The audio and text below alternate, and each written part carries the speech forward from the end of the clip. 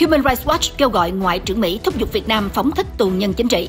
Giới ngoại giao Mỹ Đức thăm một cơ sở tôn giáo độc lập ở Việt Nam đang bị lệnh cưỡng chế. Việt Nam hồi hương hai bộ hài cốt quân nhân Mỹ. Mỹ, Philippines diễn tập chống tăng. Đài Loan diễn tập phòng thủ dân sự sau khi Trung Quốc kết thúc tập trận. Triều Tiên phóng phi đạn gây báo động hoang mang ở Nhật. Lễ hội té nước của Thái Lan hồi sinh sau Covid. Na Uy trục xuất 15 nhân viên tình báo Nga.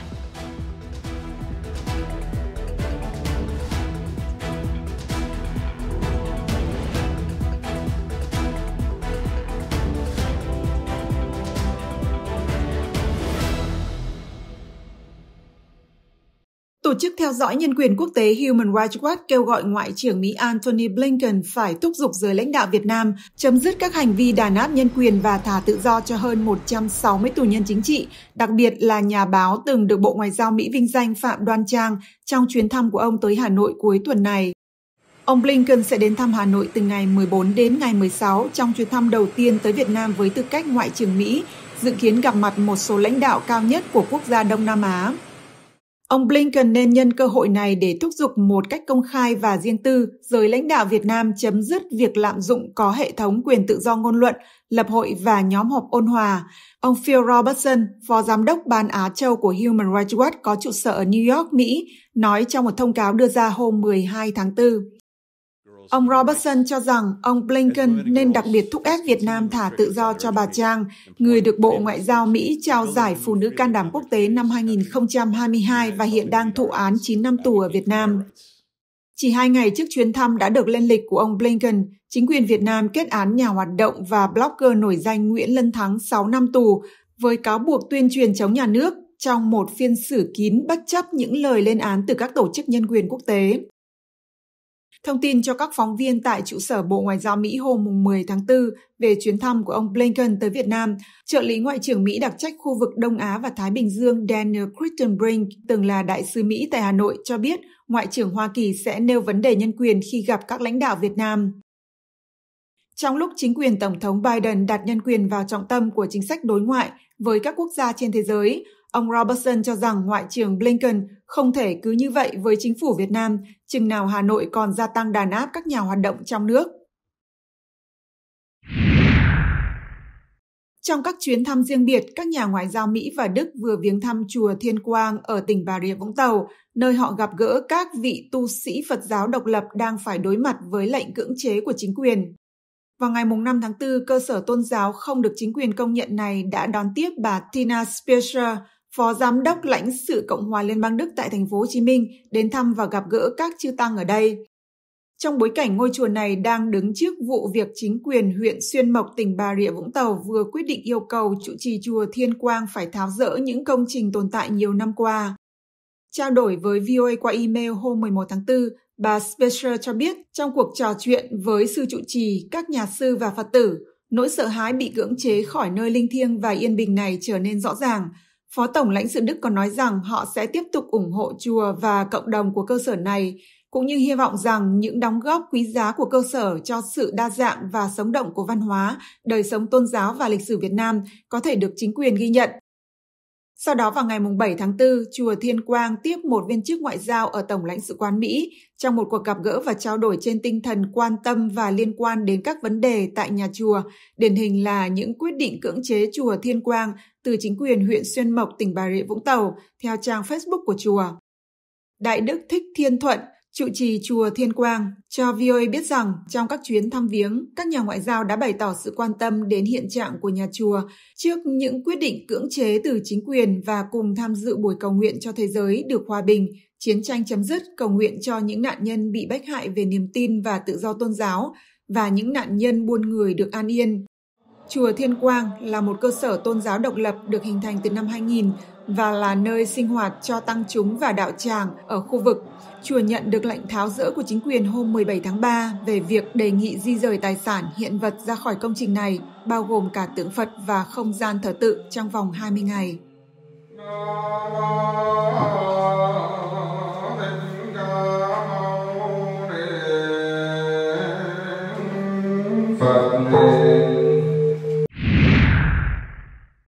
Việt Nam mới tổ chức một buổi lễ hồi hương hài cốt quân nhân Hoa Kỳ mất tích trong chiến tranh ở Việt Nam lần thứ 160 tại sân bay quốc tế Đà Nẵng ở thành phố Đà Nẵng.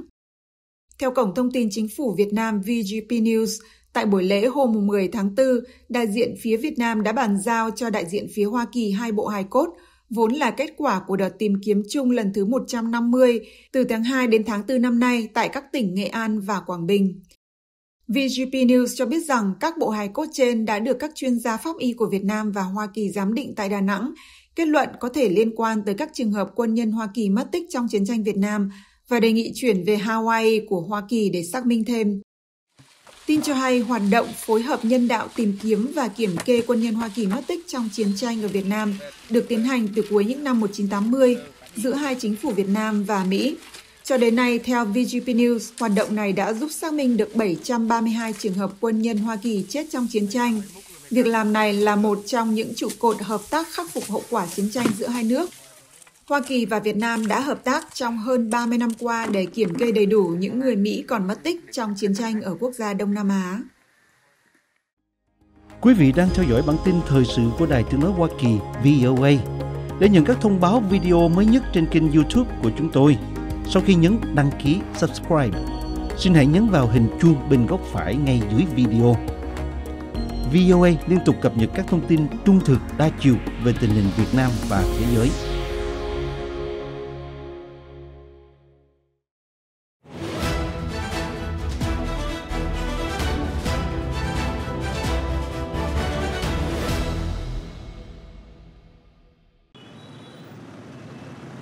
Sài Gòn có nhiều người nghèo và Sài Gòn cũng có tiệm sửa giày miễn phí cho những người nghèo khó này. Tiệm ở hè phố khu bàn cờ này của quận 3 là một trong những địa chỉ miễn phí đó. Đến nay, tiệm này cũng đã 23 tuổi rồi. À, một cậu học trò tôi ngồi làm với thầy tôi á, thì thời điểm nó cũng còn bao cấp khó khăn. Thì à, tôi thấy những anh chị à, vé số xích lô ba gác nè, à, với mấy người mà mấy bán cái cây dạo họ mang đôi dép nhiều khi họ mòn tới gót chân luôn mà họ không có tiền họ sửa. Thì từ đó mình có cái tâm niệm là mình sau khi mình học nghề thành đạt xong mình sẽ ra mình làm miễn phí mình giúp cho mấy anh chị ờ, đối tượng thu nhập thấp cũng như là vé số xích lô ba gác.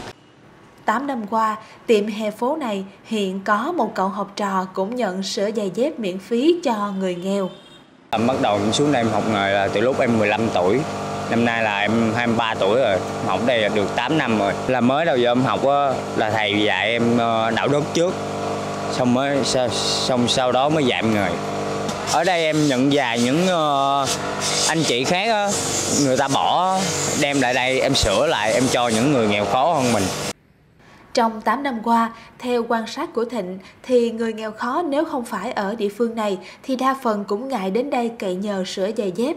Còn chồng sớm của vùng bàn cờ đây thì quen với chuyện sửa miễn phí của tiệm hơn 20 năm rồi. Mà có những cô chú anh chị ngại, không dám sửa. Còn có nhiều cô chú thì trong sớm này thì biết rồi, không có ngại. Họ hư cái nào thì tới đây thì tụi em sửa không có lấy tiền hoàn toàn miễn phí. Trong suốt thời gian qua em học á em mà cảm thấy mà vui nhất á là sửa miễn phí cho những người nghèo những người nghèo khó khăn. Xích lô ba ghét những người bán vé số khiếm thị đồ là em cảm thấy là vui nhất. Họ vui thì mình cũng vui thôi. Trong niềm vui đó, theo lời của ông Huỳnh Thanh Tuấn, đó còn là tấm lòng dành cho nhau ở giới Cần Lao. Có nhiều anh chị là mà giống như mình sửa cho họ nhiều lần rồi đó, rồi họ bán họ dư một ít trái cây, rồi họ đem lại họ biếu mình cũng như họ thay lời muốn nói cảm ơn với mình. Cũng nhìn nói chung là cũng giống như họ cảm ơn mà họ không có cảm ơn được. Họ gửi những cái tấm cái quà nho nhỏ cũng như họ cảm ơn mình. Mình thấy cũng xúc động qua cái hình à, việc làm của họ những đôi giày cũ mà khách gửi tặng tiệm sửa giày này sẽ bước vào vòng đời mới khi người thợ nơi đây tân trang lại để sau đó dành tặng cho những ai có nhu cầu nhưng túi tiền quá chật vật nên không sắm sửa nổi.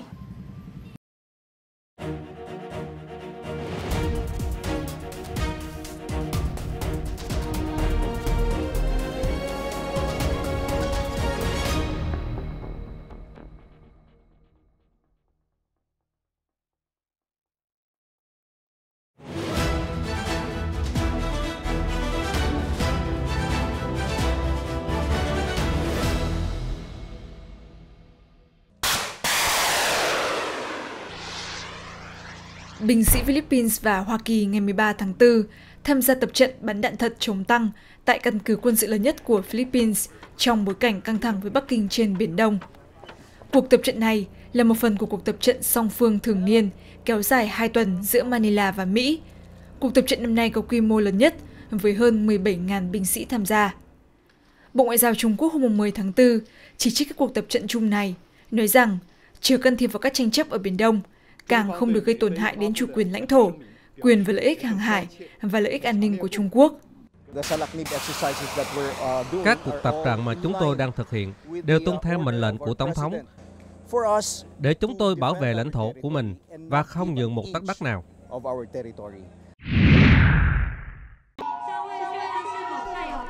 Đài Loan hôm 13 tháng 4 bắt đầu các cuộc diễn tập phòng thủ dân sự ở trung tâm thành phố Đài Trung vài ngày sau khi Bắc Kinh kết thúc các cuộc tập trận xung quanh Đài Loan. Hàng loạt cuộc diễn tập hàng năm được lên kế hoạch trước, giúp nâng cao khả năng sẵn sàng đối phó với thiên tai và các trường hợp khẩn cấp khác đã được chỉnh sửa để bao gồm các yếu tố chiến tranh sau cuộc chiến ở Ukraine và cảm giác bị đe dọa ngày càng cao từ nước láng giềng Trung Quốc. Trung Quốc hôm 10 tháng 4 kết thúc 3 ngày tập trận xung quanh Đài Loan để đáp lại cuộc gặp vào tuần trước tại Los Angeles giữa Tổng thống Đài Loan Thái Anh Văn và Chủ tịch Hạ viện Hoa Kỳ Kevin McCarthy.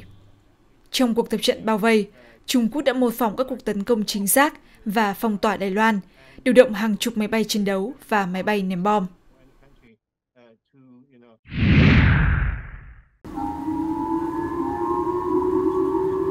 Còi báo động phi đạn làm chấn động cư dân ở đảo Hokkaido phía bắc Nhật Bản vào sáng 13 tháng 4. Mọi người được yêu cầu tìm nơi trú ẩn ngay lập tức sau khi Triều Tiên bắn thử dường như là một kiểu phi đạn đạn đạo mới. Cảnh báo phi đạn hiếm thấy đã làm đảo lộn các lịch trình tàu hỏa. Những người đi làm bối rối trước sự chậm trễ của dịch vụ tại nhà ga xe lửa Sapporo, một sự phá vỡ so với sự đúng giờ cực độ thường thấy. Cảnh báo sơ tán sau đó đã được dỡ bỏ sau khi phi đạn được xác nhận đã rơi bên ngoài lãnh thổ Nhật Bản. Vì mục đích của báo động J là thông báo kịp thời cho công chúng về nguy cơ các vật thể rơi từ phi đạn, nên nó được đưa ra trên quan điểm ưu tiên sự an toàn của công dân. Tôi tin rằng quyết định đưa ra cảnh báo là phù hợp. Hàn Quốc nói, phi đạn của Bình Nhưỡng đã bay khoảng hơn 990 km và gọi đó là một sự khiêu khích nghiêm trọng. Vụ phóng diễn ra vài ngày sau khi nhà lãnh đạo Triều Tiên Kim Jong-un kêu gọi tăng cường khả năng gian đe chiến tranh của nước này theo cách thực tế và tấn công hơn để chống lại cái gọi là các động thái gây hấn của Hoa Kỳ. Những lời lẽ mạnh mẽ của Bình Nhưỡng được đưa ra khi Hàn Quốc tiếp tục tập trận chung với Mỹ. Lực lượng không quân Hàn Quốc đã thực hiện các bài tập tiếp nhiên liệu trên không trong đoạn clip được phát hành trong tuần này. Trong khi lên án vụ thử phi đạn mới nhất, Washington đã gia hạn đề nghị mở các cuộc đàm phán. Phát ngôn viên của Hội đồng An ninh Quốc gia Adrian Watson nói trong một tuyên bố, cánh cửa ngoại giao vẫn chưa đóng lại, nhưng Bình Nhưỡng phải chấm dứt ngay các hành động gây bất ổn và thay vào đó là lựa chọn giao tiếp ngoại giao.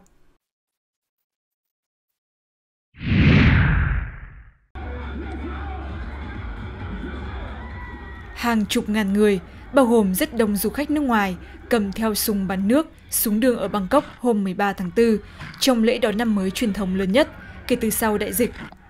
Các sinh hoạt lễ hội Songkran, một lễ hội rất được yêu thích của Thái Lan, đôi khi được mô tả là cuộc chiến nước lớn nhất thế giới, đã im lắng hoặc bị cấm trong vài năm qua, chủ yếu do các hạn chế của Covid. Du khách quay trở lại Thái Lan, ngành du lịch đang giúp vực dậy nền kinh tế lớn thứ hai Đông Nam Á. Người chảy hội, nhiều người bị ướt sũng đi bộ qua một đoạn đường dài nửa km ở trung tâm du lịch đường Khao San của Bangkok, bắn súng nước loạn xạ và nhảy múa theo tiếng nhạc phát ra từ các cơ sở bên lề đường. Tôi cảm thấy vui khi có lễ hội này trở lại. Ngoài ra, nền kinh tế đã được tăng tiến, tốt hơn là để thành phố im lặng như trước đây trong đại dịch.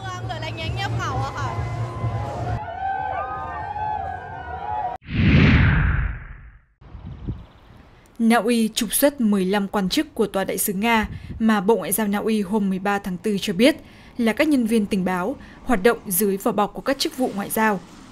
Moscow cho biết sẽ đáp trả. Khoảng 40 nhà ngoại giao Nga hiện đang được công nhận tại Oslo. Vì vậy, số lượng bị trục xuất chiếm hơn 1 phần 3 số nhà ngoại giao Nga tại Na Uy. Đây là trường hợp mới nhất về việc một quốc gia phương Tây trục xuất các nhà ngoại giao Nga kể từ khi Moscow bắt đầu xâm lược Ukraine vào năm ngoái. Từ đầu năm tới nay, Estonia, Hà Lan và Áo cũng đã trục xuất các nhà ngoại giao Nga. Na Uy đã trục xuất ba người Nga vào tháng 4 năm ngoái. Hãng thông tấn nhà nước TASS đưa tin, Bộ Ngoại giao Nga tuyên bố Moscow sẽ đáp trả các vụ trục xuất. Các quan chức tại tòa đại sứ Nga ở Oslo không bình luận khi được Reuters yêu cầu.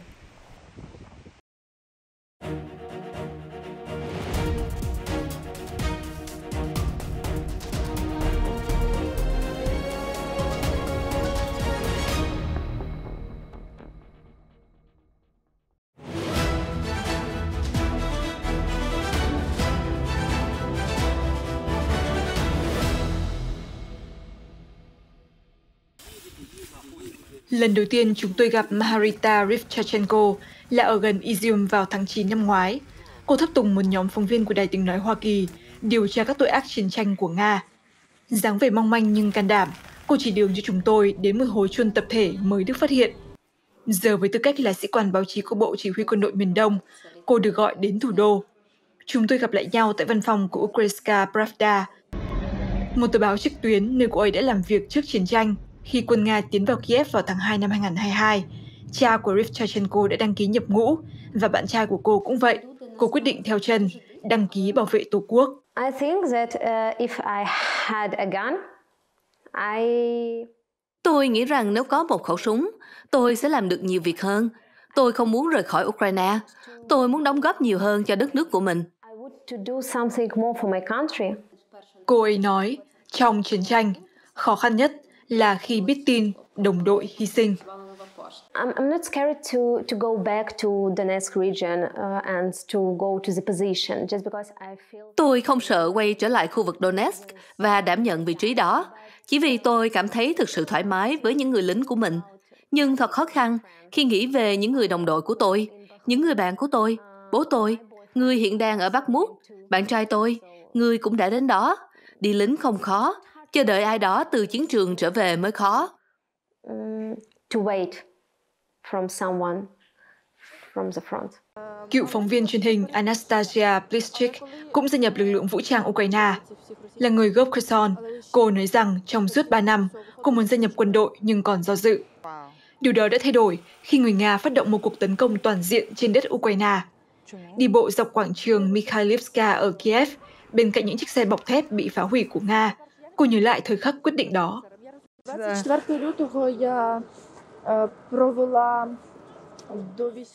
Vào ngày 24 tháng 2, tôi đưa chồng chưa cưới của mình, một nhà báo, quân nhân lữ hành xung kích đường 095, Alexander Markov, đến quân ủy. Vào ngày 25 tháng 2, anh ấy gọi cho tôi và nói, em khỏe không? Tôi nói rằng tôi sẽ đăng ký nhập ngũ và anh ấy ủng hộ quyết định của tôi. Thế rồi bi kịch ập đến. Hồi tháng 5 năm ngoái, chồng chưa cưới của cô hy sinh trong trận chiến giành Izium. Здавалося, що такі, як він, безсмертні. І я думала, що це може статися ну, будь з ким, але точно не з ним. І коли мені подзвонили... Những người như anh ấy dường như luôn bất tử. Tôi từng nghĩ rằng ai chết thì chết, chứ không phải anh ấy. Nhưng khi nhận được cuộc gọi, tôi không muốn bất cứ ai phải rơi vào hoàn cảnh như mình. Thật sự khó khăn.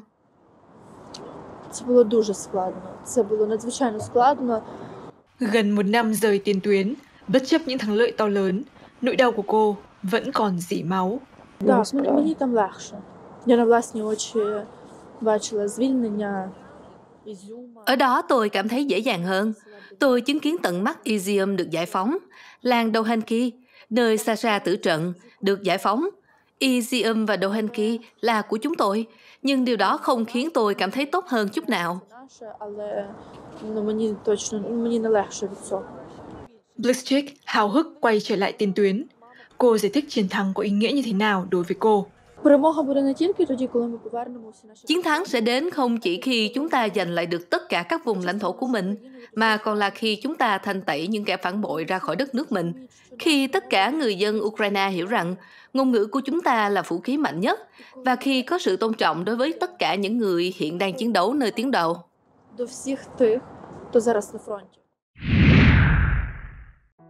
I had no plans to move anywhere. Uh, I planned to live in Vietnam all my life. Uh, so what happened next uh, took me by surprise. Uh, I didn't expect my life to change so much. Uh, my name is Sergei Kuropov. I'm a journalist, a blogger, and a political immigrant in Canada. I came to Canada because I was persecuted, politically persecuted by two regimes, Russian regime and uh, Vietnamese regime.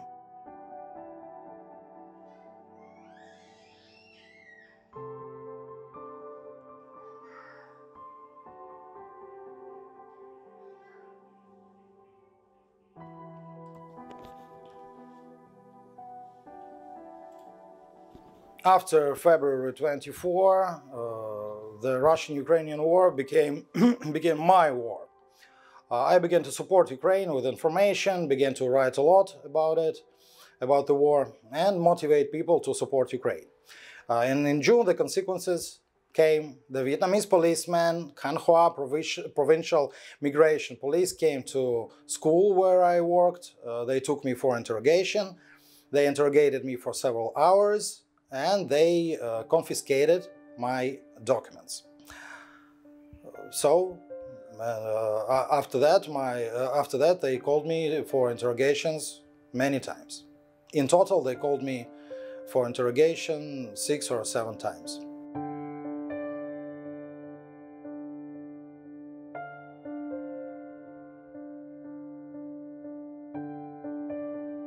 Uh, they demanded uh, that I stop speaking uh, publicly about the war uh, and accusing Russia of war crimes. They constantly threatened me that they would extradite me to Russia, where I'll be uh, imprisoned. Although there were no legal reasons for my extradition, I lived in Vietnam on absolutely legal grounds. They say that in Vietnam it's forbidden to say anything bad about Russia. I asked them to show the law that forbids talking about Russia. They couldn't show it.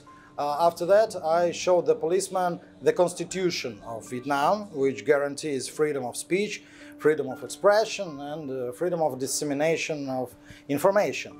But the policeman said that uh, the constitution doesn't work in Vietnam. They said it openly and very, very clearly. The constitution doesn't work here. Uh, you know, one policeman uh, informally in, in a private conversation, uh, he said that Russia is a big brother of Vietnam and to oppose Russia means the same uh, as uh, to oppose Vietnam. He said like that.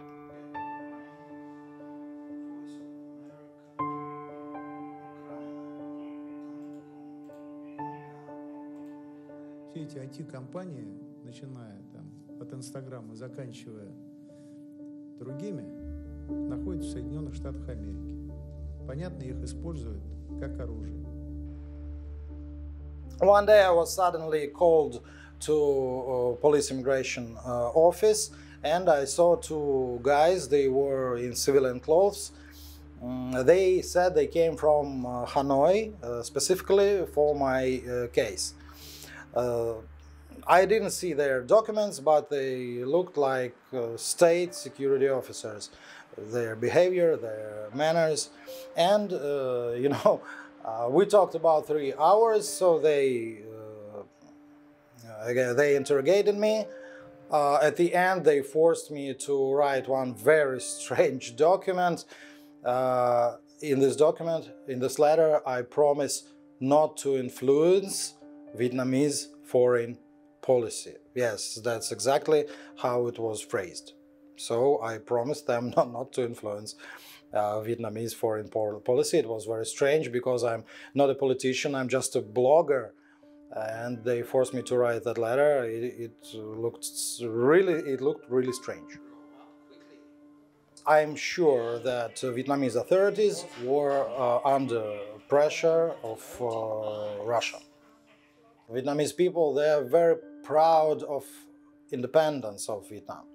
Uh, very often they uh, say, uh, they talk about uh, about that Vietnam defended, uh, uh, Vietnam protected his independence in many wars. But in fact, in fact, we see that Vietnam is not so independent as they say, because you see they uh, they do what what Russian authorities want to do, and it's not good.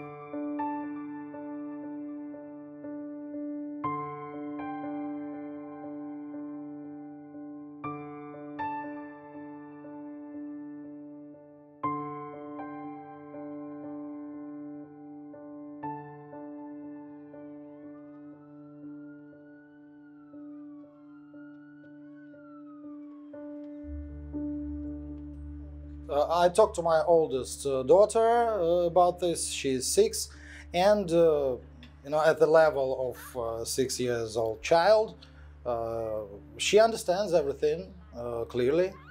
Yes, she, I, I, told her about about the war, about our situation. I had to tell her that if we if we don't go to Canada, so Daddy will uh, will be imprisoned. What do you think about that? Of course, she said, "No, Daddy, let's go. Let's go to Canada." As as for every immigrant, it's it's difficult. Yes, I have to start my life. Uh, in fact, uh, from the beginning, I need to find new job. I need to enroll my school, my children uh, into schools. Uh, so yes, it's uh, difficult. But uh, most importantly, uh, that I'm free. I'm free. I'm happy, and uh, uh, now nobody can arrest me or shut my mouth.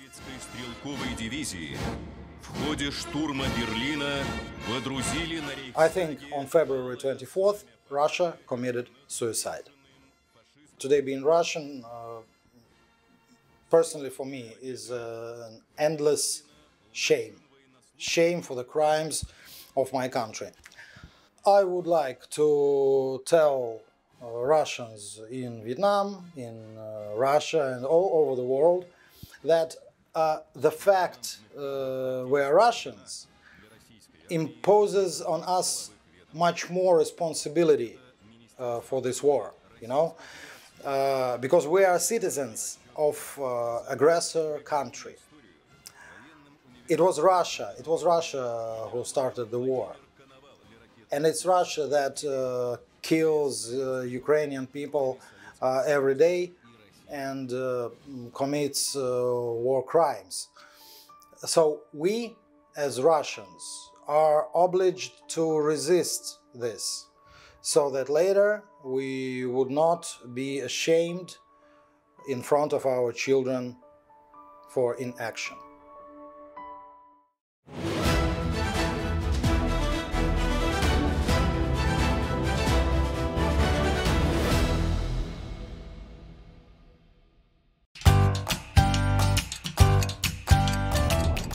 Welcome to English in a Minute.